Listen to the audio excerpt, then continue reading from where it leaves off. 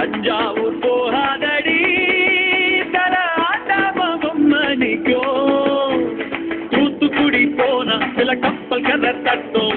கொடைக்கானல் போனா அங்க வேகம்னு சுத்தம் அது அது அது அது என்ன அது என்ன?